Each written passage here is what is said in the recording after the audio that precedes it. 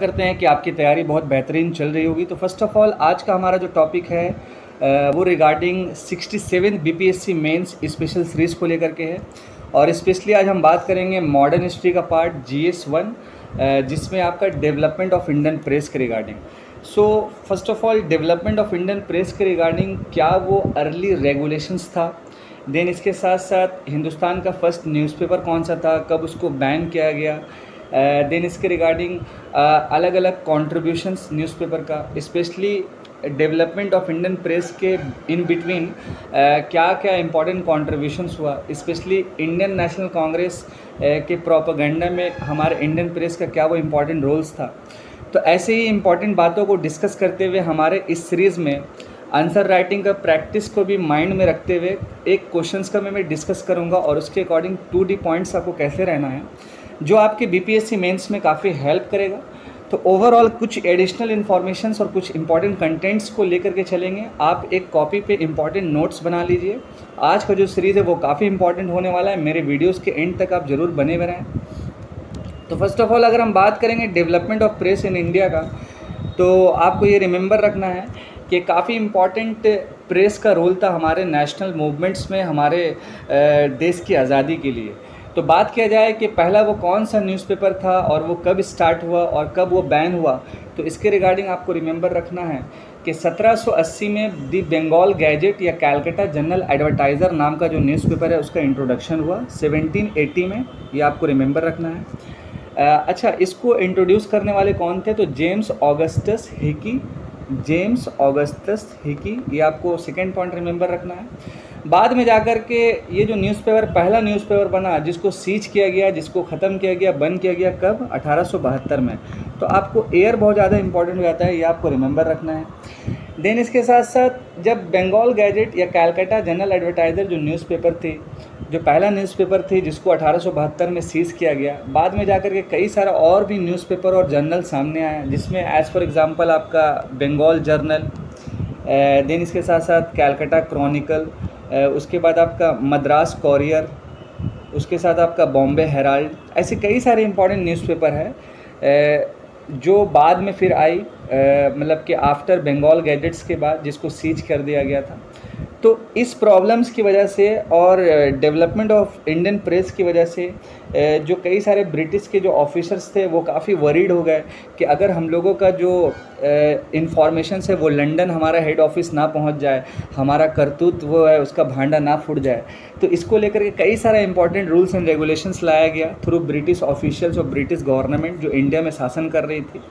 तो आइए जानते हैं कि चंद वो इंपॉर्टेंट अर्ली रेगुलेशन और इसके साथ साथ इंपॉर्टेंट फैक्ट्स और कई सारे एडिशनल और भी इंपॉर्टेंट न्यूज़पेपर जनरल पैम्पलेट्स और उसके रिगार्डिंग कई सारे जो इंपॉर्टेंट लीडर्स थे उनका नाम जिन्होंने ये न्यूज़पेपर का शुरुआत किया।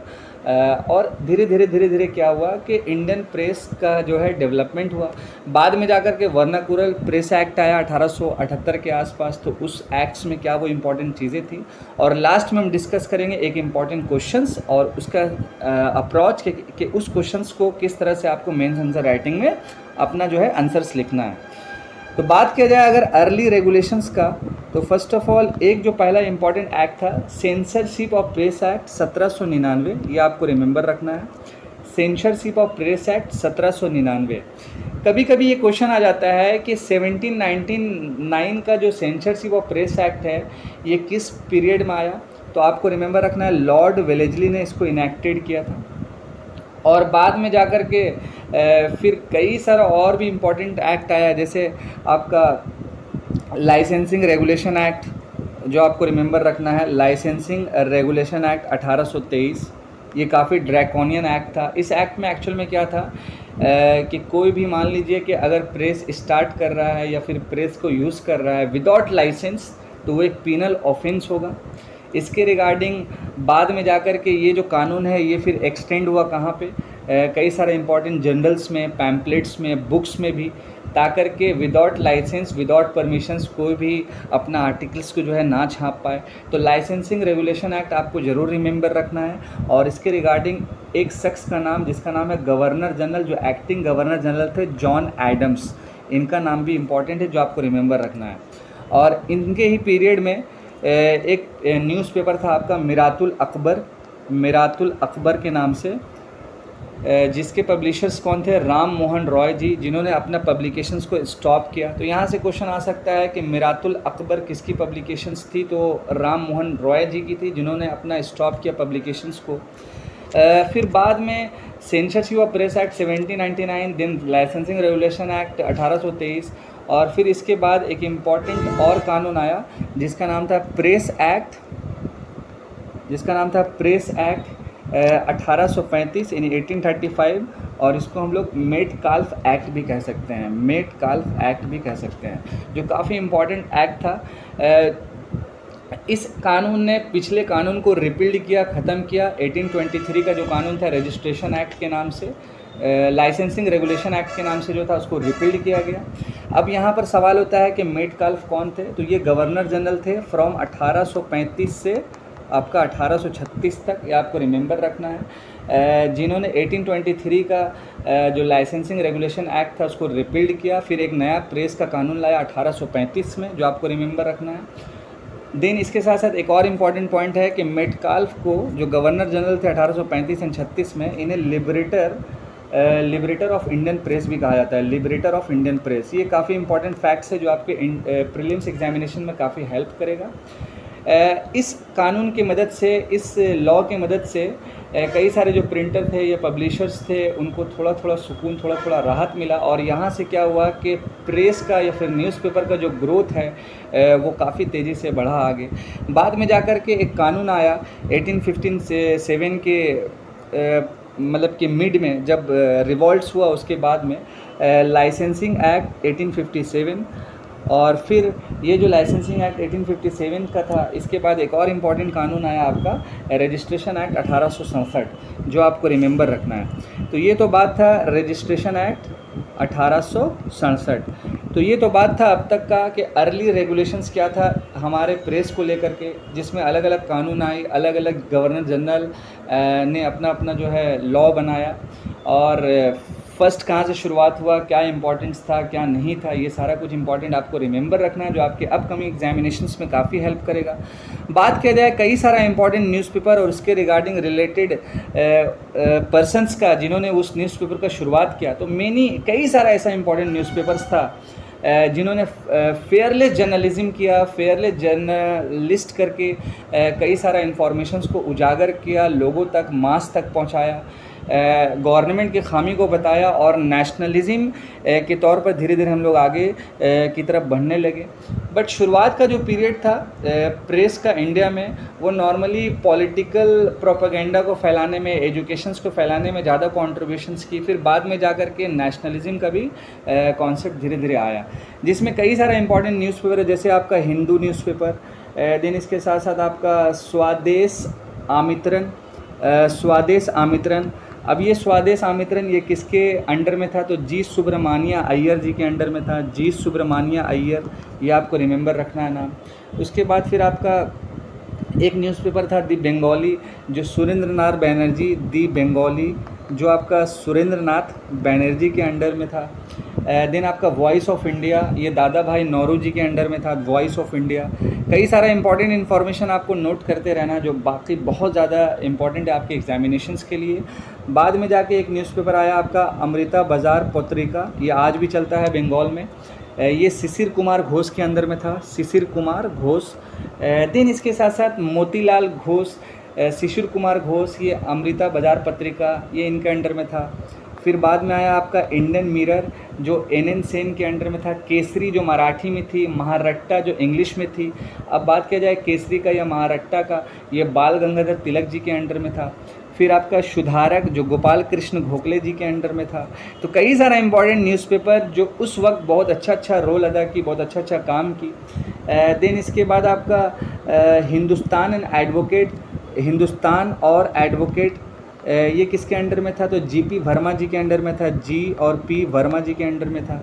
और other than many newspaper included जैसे ट्रिब्यून उसके बाद अब आपका अकबर आम, जो पंजाब से शुरुआत हुआ देन आपका गुजरात से शुरुआत हुआ, इंदू प्रकाश ध्यान प्रकाश एंड काल इन बॉम्बे से शुरुआत हुआ, सोम प्रकाश बंगा निवासी और साधारणी इन बंगाल से शुरुआत हुआ। तो ऐसे कई सारा इंपॉर्टेंट न्यूज़पेपर था।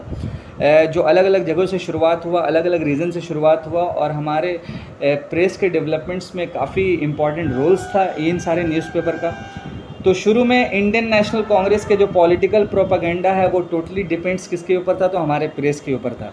तो ऐसे कई सारा important information regarding to press कि क्या वो इंपॉर्टेंट एक्ट्स था, क्या वो इंपॉर्टेंट न्यूज़पेपर और उसके रिगार्डिंग इंपॉर्टेंट शख्स जो उस न्यूज़पेपर को चला रहे थे। और बाद में जाकर के एक एडमिनिस्ट्रेशन आया लॉर्ड लिटन्स का जो काफ़ी ड्रैकोनियन एडमिनिस्ट्रेशन हम कह सकते हैं लॉर्ड लिटन का एडमिनिस्ट्रेशन लॉर्ड लिटन के एडमिनिस्ट्रेशन में हमारा जो इंडियन न्यूज़पेपर है वो हाईली क्रिटिकल बना। रिगार्डिंग मतलब कि उनके इन ह्यूमन बिहेवियर्स की वजह से इन ह्यूमन ट्रीटमेंट्स की वजह से। uh, और एक और आपको फैक्चुअल चीज़ याद होगा कि एक फेमाइन आया था अराउंड 1876 से 1877 के आसपास। तो इस बीच में काफ़ी इन ह्यूमन बिहेवियर्स देखा गया लॉर्ड लिटन्स का। तो और देन इसके बाद वर्नाकुलर प्रेस एक्ट का कानून आया 1878 में। तो ओवरऑल यहाँ तक तो था बात आपका कि अर्ली रेगुलेशन इंपॉर्टेंट न्यूज़पेपर और उससे रिलेटेड इंपॉर्टेंट जो शख्स हैं जो उस जो मतलब कि उस न्यूज़पेपर के अंडर गाइडेंस उसको चला रहे हैं। और बाद में जाकर के जब वर्नाकुलर प्रेस एक्ट आया 1878 में, वर्नाकुलर प्रेस एक्ट 1878 का ये कानून था, ये आपको बहुत इंपॉर्टेंट है, जिसको रिमेंबर रखना है। और इसके साथ साथ कई सारा इंपॉर्टेंट इसका प्रोविजंस है जो आपको रिमेंबर रखना है। और लॉर्ड लिटन का एडमिनिस्ट्रेशन आपको रिमेंबर रखना है। तो वर्नाकुलर प्रेस एक्ट में कुछ इंपॉर्टेंट जो प्रोविजंस था, जिसमें पहला प्रोविजंस ये था कि डिस्ट्रिक्ट मैजिस्ट्रेट्स के पास वो इंपॉर्टेंट पावर था। किसके पास? डीएम के पास वो इंपॉर्टेंट पावर था कि किसी भी प्रिंटर या पब्लिशर्स के ऊपर जो मतलब जितना भी वर्नाकुलर जो न्यूज़पेपर है, चाहे वो हिंदी हो, मराठी हो इंग्लिश हो, किसी भी लैंग्वेजेस में हो वो गवर्नमेंट के साथ एक बॉन्ड करेगी, वो मतलब कि ब्रिटिश गवर्नमेंट के साथ एक बॉन्ड करेगी कि कोई भी मतलब कि न्यूज़ या कोई भी आर्टिकल्स वो अगेंस्ट ना हो मतलब कि गवर्नमेंट के ख़िलाफ़ ना हो और गवर्नमेंट ऑफिशियल्स के ख़िलाफ़ ना हो। अगर ऐसा होता है तो फिर क्या होगा कि उनका जो प्रेस इक्विपमेंट है उसको सीज कर लिया जाएगा उनका जो डिपॉजिट्स है उनको सीज उसको ख़त्म कर दिया जाएगा। तो ऐसा एक प्रोविजंस बनाया गया पहला इस इस पार्टिकुलर एक्ट में। देन इसका वर्नाकुलर प्रेस एक्ट का जो सेकंड पॉइंट्स था जो आपको रिमेंबर रखना है, कि मैजिस्ट्रेट्स का जो भी एक्शंस होगा वो फाइनल होगा। मैजिस्ट्रेट्स का जो एक्शंस है वो फाइनल होगा और उसमें कोई भी अपील नहीं कर सकता है। किसी भी कोर्ट ऑफ़ लॉ में ये आपको रिमेंबर रखना है।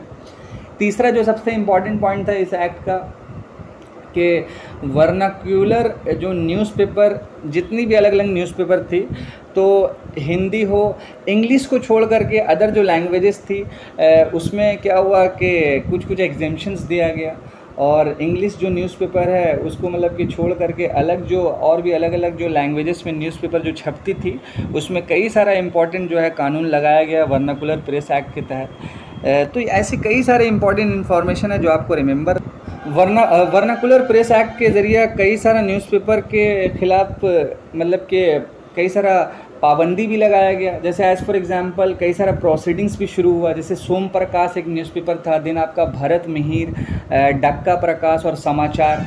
इन सारे न्यूज़पेपर पे कई सारा इंपॉर्टेंट प्रोसीडिंग्स का शुरुआत हुआ।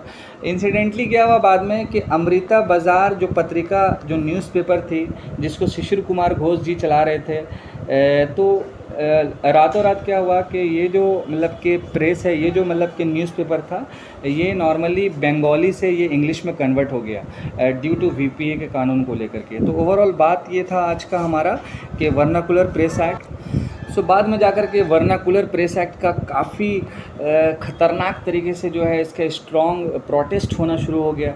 फिर फाइनली कई सारा डिस्क्रिमिनेशंस भी देखा गया इस प्रेस एक्ट के रिगार्डिंग जैसे कि इंग्लिश और वर्नाकुलर प्रेस के regarding no right of appeal यानी डीएम का जो एक्शन है वो फाइनल हो जाएगा। रातों रात फिर क्या हुआ कि लेटर में क्या हुआ कि प्री सेंसरशिप्स का कुछ कुछ क्लॉजेज आया, इसको रिपील्ड किया गया और बाद में जाकर के प्रेस कमिश्नर्स को अपॉइंटेड किया गया और लॉर्ड रिपन्स के टाइम इसको रिपील्ड करके फ्रॉम 1882 में ये कानून को जो है ख़त्म किया गया। अराउंड 1883 का एक फैक्ट्स आपको रिमेंबर रखना है जो काफ़ी इंपॉर्टेंट है कि Surendra Nath Banerjee became the first Indian journalist to be imprisoned यानी अठारह सौ तिरासी में सुरेंद्र नाथ बैनर्जी जी, जो पहले हिंदुस्तानी बने फ़र्स्ट इंडियन जर्नलिस्ट बने, जिनको जेल के पीछे डाला गया और जिनका एक एंग्री एडिटोरियल था, उनके ही न्यूज़पेपर बंगाली में। जिन्होंने कैलकाटा के जज को कैलकाटा के हाई कोर्ट के जज को काफ़ी क्रिटिसाइज्ड किया रिलीजियस सेंटिमेंट्स के जजमेंट्स के ऊपर में। तो ओवरऑल यहाँ तक का कहानी ये था। इसके बाद एक और आपको स्टोरी रिमेंबर रखना है, जो बाल गंगाधर तिलक जी का है। जिन्होंने काफ़ी इंपॉर्टेंट कॉन्ट्रीब्यूशंस दिया हमारे इंडियन प्रेस के रिगार्डिंग बाल गंगाधर तिलक ने मोस्टली क्या है कि मास मूवमेंट्स को जोड़ा लोअर जो मिडिल क्लास के लोग थे, जैसे as for example peasants artisans workers इसको एक साथ जोड़ करके कांग्रेस के फोल्ड में ला के रखें। इसके साथ साथ गणपति फेस्टिवल्स का स्टार्टिंग किया एटीन में। फ्रॉम 1896 में अराउंड इन्होंने शिवाजी फेस्टिवल्स का शुरुआत किया। इनका जो इम्पोर्टेंट न्यूज़पेपर था केशरी और महारट्टा जो काफ़ी इम्पोर्टेंट कॉन्ट्रीब्यूट्स की। सो uh, ओवरऑल ये था हमारा कुछ कुछ इंपॉर्टेंट सीन कुछ कुछ important backgrounds regarding our development of Indian press अब हम बात करेंगे इंपॉर्टेंट वो क्वेश्चंस का जो आज का हमारा सीरीज़ है। तो आइए बढ़ते हैं अपनी क्वेश्चंस की तरफ़। 67 बीपीएससी मेंस के स्पेशल सीरीज़ को माइंड में रखते हुए आज का हमारा जो क्वेश्चन है explain how the emergence of press in nineteen century contributed to the growth of nationalism and struggle for independence in India also state the steps taken by the British government to suppress its popularity देखिए, मैंने पहले ही बताया कि सबसे पहले questions को आपको अच्छे से रीड आउट करना है। देन इसके साथ साथ जो जो इंपॉर्टेंट कीवर्ड होगा उसको अंडरलाइन करना है। और यहाँ पर देखा जाए कि 250 वर्ड्स में कहा गया है। मीन्स के टाइम मैनेजमेंट्स काफ़ी इंपॉर्टेंट है कि जब भी सवाल अगर 250 वर्ड्स में आंसर कहे मतलब कि बोला जाए करने के लिए आंसर तो ओवरऑल आपको रिमेंबर रखना है कि अराउंड तीन से चार पेजेस का ये आंसर होना ज़रूरी है अराउंड 250 वर्ड्स में। तीन से साढ़े तीन पेज या लगभग लगभग चार पेज काफ़ी इंपॉर्टेंट हो जाता है और काफ़ी इंपॉर्टेंट एक्सप्लेनेशंस भी हो जाता है। तो फ़र्स्ट ऑफ़ ऑल हम देखेंगे कि यहाँ पर एक्सप्लेन करने बोला गया तो इसको आप अंडरलाइन कर लीजिए। इसके साथ साथ emergence of press in nineteen century तो यहाँ पर आपको एक ब्रीफ डिस्कस करना होगा एक्सप्लेनेशंस दे, देना होगा कि नाइनटीन सेंचुरी में प्रेस जो है उसका डेवलपमेंट या एमरजेंस कैसे कैसे हुआ ये आपको अंडरलाइन करना होगा। इसके साथ साथ contributions to the growth of nationalism and struggle for independence in India क्या वो इंपॉर्टेंट कॉन्ट्रीब्यूशंस था हमारे इंडियन प्रेस का, हमारे नेशनलिज्म्स के लिए? तो इंपॉर्टेंट कॉन्ट्रीब्यूशंस तो आपको डिस्कस करना होगा। उसके साथ साथ आपके बॉडी के सेक्शंस में एक और इंपॉर्टेंट पॉइंट्स आना चाहिए कि क्या वो इंपॉर्टेंट रिस्ट्रिक्शंस था बाय ब्रिटिश गवर्नमेंट ये स्ट्रगल क्या था इंपॉर्टेंट ये आपको रिमेंबर रखना है। और इसके साथ आपका कॉन्ट्रीब्यूशंस हो गया रिस्ट्रिक्शंस हो गया ब्रिटिश गवर्नमेंट का क्या वो इम्पोर्टेंट स्टेप्स एंड एक्शंस हो गया हमारे इंडियन प्रेस के रिगार्डिंग जिससे हमारा इंडियन प्रेस का जो पॉपुलैरिटी बढ़ रहा था वो कम हो जाए। तो ऐसी ही चंद बातों को डिस्कस करते हुए हमारा इंट्रोडक्शन का सेक्शन देन बॉडी का सेक्शन और लास्ट में आपका कंक्लूजन तो intro then body then conclusion तो कंक्लूजन भी करना है तो आपको सुटेबल कंक्लूजन करना है अकॉर्डिंग टू योर क्वेश्चन ये आपको रिमेंबर रखना है। बात किया जाए कि इंट्रो के पार्ट का तो फ़र्स्ट ऑफ़ ऑल हमको ब्रीफली जो है एक्सप्लेन करना है कि emergence of press in India इसका ब्रीफली एक्सप्लेन करना है कि कहाँ से प्रेस का शुरुआत हुआ क्या वो इम्पोर्टेंट एग्जाम्पल्स है क्या क्या शुरुआत हुआ कैसे कैसे हुआ कौन सा न्यूज़पेपर था उसके पीछे के ए, कौन से पर्सनस थे जिन्होंने शुरुआत किया। तो ये सारा कुछ इंपॉर्टेंट फैक्चुअल चीज़ें बन जाता है इंट्रोडक्शंस के पार्ट में। बात किया जाए अगर आपका बॉडी का सेक्शन तो बॉडी के सेक्शन में इस क्वेश्चन में आपको रिमेंबर रखना है। कि क्या वो इंपॉर्टेंट कॉन्ट्रीब्यूशंस था हमारे नेशनलिज्म्स के लिए और कॉन्ट्रीब्यूशंस के साथ साथ आपको रिमेंबर रखना है कि क्या क्या हर्डल्स क्या क्या प्रॉब्लम्स क्रिएट हुई और लास्ट में list the restriction placed by the British government यानी कौन कौन सा रिस्ट्रिक्शंस था? जैसे आपका सेक्शन 124 है, जो सेडिशंस का लॉ हो गया देन इसके साथ साथ और भी बहुत सारा एक दो रिस्ट्रिक्शन है जिसको हम इस आंसर्स में डिस्कस करेंगे। और फाइनली आपको कंक्लूजन्स भी अकॉर्डिंग टू क्वेश्चंस देना है, बिल्कुल बैलेंस वे में ताकि एक वे फॉरवर्ड अप्रोच हो और जो पॉजिटिविटी ज़ाहिर करता है आपके आंसर में। तो फ़र्स्ट ऑफ़ ऑल आइए बढ़ते हैं अपनी आंसर राइटिंग की तरफ़, कि किस तरह से इंट्रो होगा, किस तरह से बॉडी का सेक्शन जाएगा और किस तरह से हम लोग कंक्लूड करेंगे। बात करें कि आज के इंपॉर्टेंट क्वेश्चंस का तो explain how the emergence of press in nineteen century तो इसका इंट्रो इंट्रो का पार्ट क्या होगा? देन बॉडी का सेक्शन और लास्ट में हम कंक्लूड किस टाइप से कर पाएँगे? तो अगर आप किसी भी क्वेश्चन का आंसर्स कर रहे हैं तो आपका फ्लोइंग्स बहुत इंपॉर्टेंट है। फ्लोइंग्स डैट मीन्स के इंट्रो का सेक्शन देन आपका बॉडी का पार्ट और लास्ट वन आपका कंक्लूजन आप किस टाइप से कर रहे हैं। तो अराउंड ये 250 वर्ड्स को आपको रिमेंबर रखना है, क्योंकि टाइम मैनेजमेंट्स को फॉलो करना है। तो यहाँ पर पहला है कि emergence of press in nineteen century यानी कि कहाँ से शुरुआत हुआ, कहाँ तक गया, और कुछ इंपॉर्टेंट एग्जाम्पल्स जो आपको आपको जो है इसमें चिपका देना है। मीन्स आपके इंट्रोडक्शंस के पार्ट में। देन क्या वो इम्पोर्टेंट कॉन्ट्रीब्यूशंस था वो भी डिस्कस करेंगे। रिस्ट्रिक्शंस क्या था गवर्नमेंट का और कंक्लूड हमको कैसे करना है। तो फ़र्स्ट ऑफ़ ऑल हम बढ़ते हैं अपनी इंपॉर्टेंट इंट्रोडक्शंस की तरफ़ कि किस तरह से इस क्वेश्चंस का इंट्रोडक्शंस हो पाए। तो बात किया जाए कि हमारे इंडियन प्रेस का नाइनटीन सेंचुरी में तो फ़र्स्ट ऑफ़ ऑल इसका जो शुरुआत हुआ था, आप इस तरह से कर सकते हैं कि जेम्स ऑगस्टस हेकी इन 1780 यहाँ से हमारा एक जो है प्रेस का शुरुआत हुआ और जो फ़र्स्ट जो न्यूज़पेपर था वो आपका बंगाल गैजेट्स के नाम था, नाम से था, जिसको कैलकाटा जनरल एडवर्टाइज़र भी कह सकते हैं।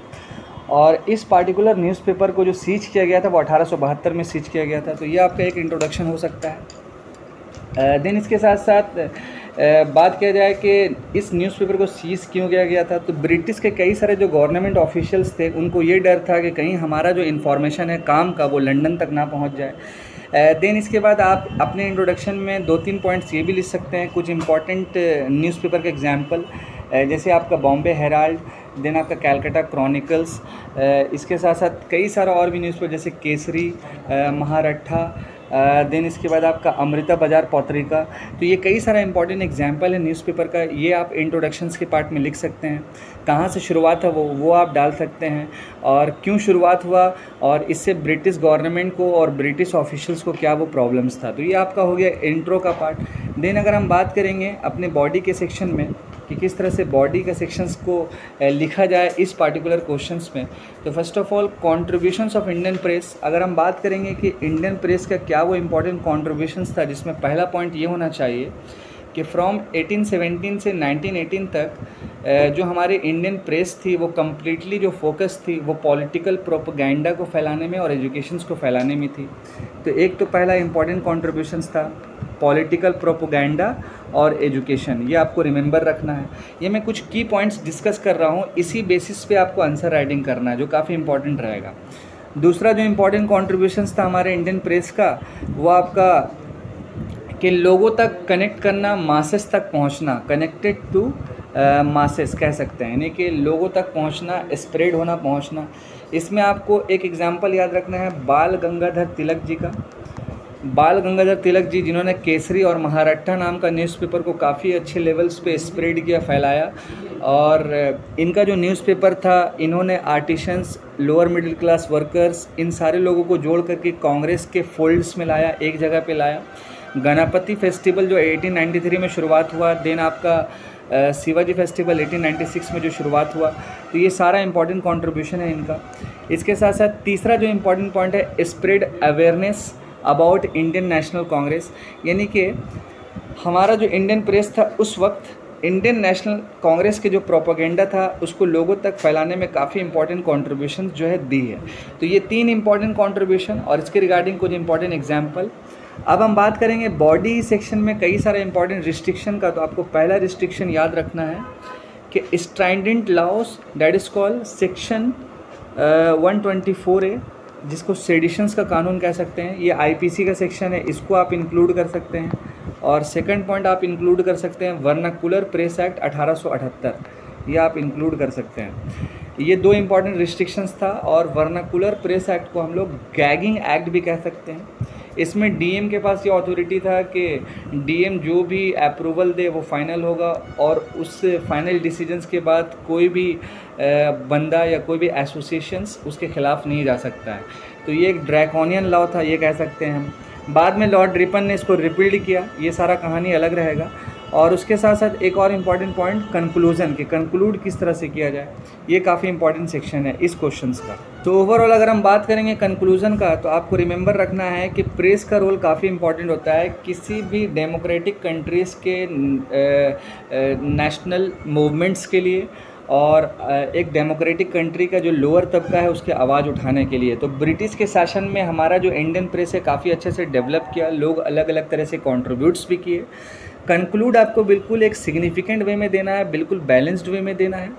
और इसके साथ साथ कई सारा इंपॉर्टेंट आप देख सकते हैं यहाँ पे जो इंपॉर्टेंट कंक्लूजन है कि the role of the press was significant as it acted as a breeding ground for discontent voice of India यानी कई सारा जो लोअर तबका था लोअर क्लासेस थे तो उसका एक आवाज़ बना ये हमारा प्रेस कॉलोनियल अथॉरिटीज़ के ख़िलाफ़ ब्रिटिश के ख़िलाफ़ तो कई सारा जो प्रोटेस्ट हम लोग रजिस्टर्ड किए, कई सारा इंपॉर्टेंट मूवमेंट्स भी चला, कई सारा इंपॉर्टेंट इंपॉर्टेंट जो है न्यूज़पेपर भी आया। तो ये इंपॉर्टेंट एक कंक्लूजन्स था जो जो बिल्कुल आपको बैलेंस वे में रखना है। होप हमारा ये जो लेक्चर है आपको पसंद आया होगा ओवरऑल के डेवलपमेंट ऑफ़ इंडियन प्रेस इसके साथ कई सारे इंपॉर्टेंट आर्टिकल्स देन इसके साथ फाइनली हमने एक डिस्कस किया क्वेश्चंस को और इसके रिगार्डिंग क्या वो इंपॉर्टेंट पॉइंट्स होगा जो आपको लिखना है।